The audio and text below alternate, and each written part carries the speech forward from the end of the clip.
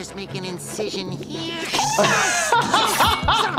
SpongeBob number three coming at you. That's right, we're headed back to Bikini Bottom again. What medical craziness does Bikini Bottom have to offer? A whole lot. Let's dive right in.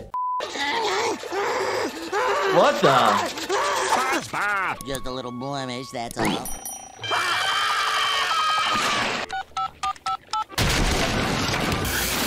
Dear Neptune's Trident, this is the most severe case of ick yet. Ick. I was thinking he was having an allergic reaction, but ick. It must be some weird fungus, bacteria, virus. If this were to happen in the United States, they're gonna wear their hazmat suits, they're gonna contain the area, they're not gonna be breaking down doors. Back, I say! Oh my gosh, it's quarantined into a cage, but obviously it's not like a respiratory thing. This is more contact. Holy cow, what happened to him? Everybody's in masks. Yep. Who are you people? Sometimes people will be placed in isolation. There are isolated rooms with reverse air, so actually the air is blowing out versus actually blowing in. You home, SpongeBob. You just need to stay in this bubble until the ick clears up. Wow! He appears stable, sir. All right, boys, let's pack it up. So obviously SpongeBob is now stuck in quarantine. A lot of us would experience very similar things. Some of the most infectious things that I see typically is measles, obviously COVID-19, and then scabies. Here, help me move this sofa. You got it, Squiddy. Where are we moving her to? Now don't move it till I say. Oh, Oh, okay, no. it's on my foot. Oh, oh, Okay. oh my gosh! That looks so painful. Probably one of the worst procedures I have to do in the emergency department is ingrown toenail removal where you have to numb up the toe and then you actually have to cut piece of the toenail out. Ow! SpongeBob! I told you not to move it till I said. Oh! Why do you keep moving it? Broken toes, what do you do? Not much you could do. Give somebody like a hard sole boot so it actually doesn't bend. Typically, we actually don't splint it. Need. I can move it myself. Oh, oh! You gotta be super careful when you're lifting heavy objects. You gotta lift with your legs, not your back. You'll herniate a disc, you'll pop a ligament, and then you'll be out of commission for a couple weeks. You don't want that. And you split your sofa in half. It'll be really easy to move now. Slips and falls, super common. Most common injuries when people slip and fall is actually wrist fractures because you actually reach out to try to brace your fall, but instead you actually cause an injury called a foosh, and then you snap your wrist. You gotta think about all those parkour people. When they land, they land and tumble. I don't know why he's dragging his friend like that. It's probably easiest to carry them over your shoulder. Your best bet is actually get somebody else to help you. If that's not an option, then actually maybe placing them on something that you can help pull. What is this? A snap. Oh. back. Ah, I threw out my back. We do say we throw it out, but where are you throwing it? You can either have like a slip disc and then you can also then cause muscle spasms, which then will cause more pain and stiffening. The best way to relieve the discomfort is anti-inflammatories, pain medicine, as well as muscle relaxers. oh boy! Now's my chance. SpongeBob to the rescue! No, no, no. Stay back. I'll save you. Oh. I'm Oh! ruined. I, Oh, you can, I'm- it's I- fixed. I, I feel great. Don't do that in real life. Your body is in pain and it's telling you to relax. A lot of times we'll give people pain medication. They'll feel better when the medicine's in their system. But we always advise them, take the pain medicine and relax.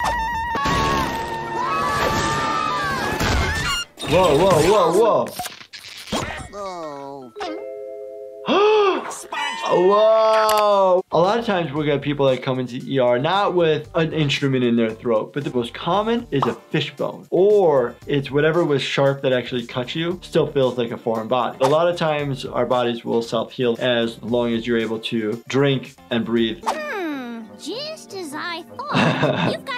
You've pointy bit from the end of your clarinet stuck in your throat. Yeah. That was clumsy of you. I didn't. It was SpongeBob.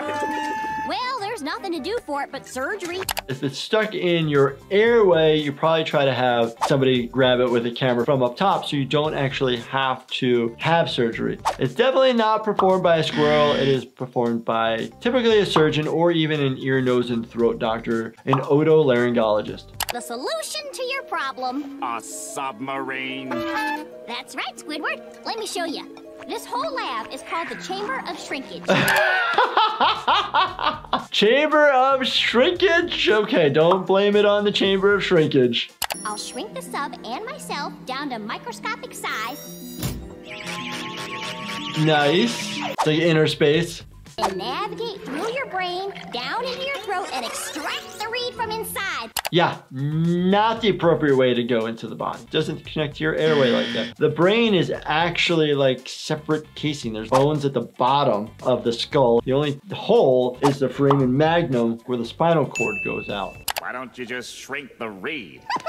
Ah, Squidward, always wanting to do it the hard way. There are things that we do where you do things on the outside to do something to the inside. If you ever have a kidney stone and then you want to break it up, you can actually use shockwave therapy called lithotripsy so they break up smaller so they're easier to pass.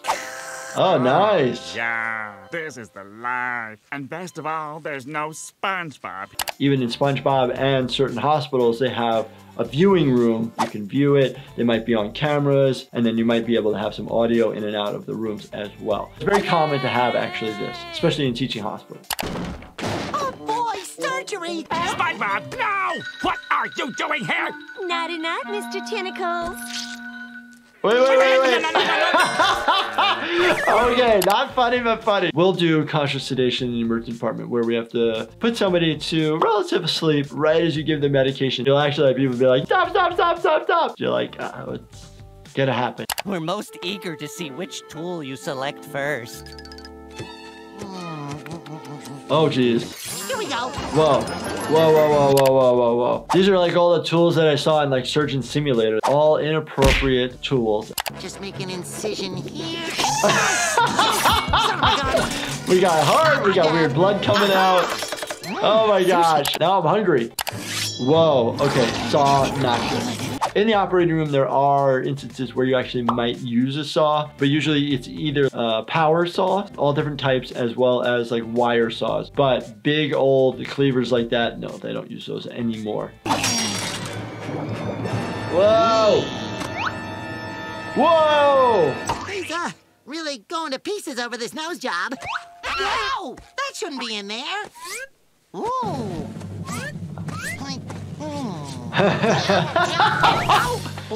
We'll actually get this a lot where people stick things up their nose, usually kids. Luckily, we have these cool devices that actually have a balloon on the end. So you actually stick it past the device, blow up the balloon, and then you can pull it back out and boop, it all comes flying out. What is this crazy thing? Looks like some sort of weird submarine. You're kidding. I hope this submarine is like their version of a hyperbaric chamber. We placed her in an iron lung to help Oh, her back. it's the iron lung. Iron lung was used back in the day with like tuberculosis to help people breathe. We don't use these anymore. A periscope! Load the torpedoes!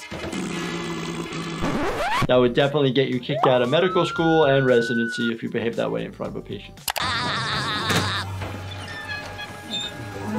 Oh no! The wheels are unlocked.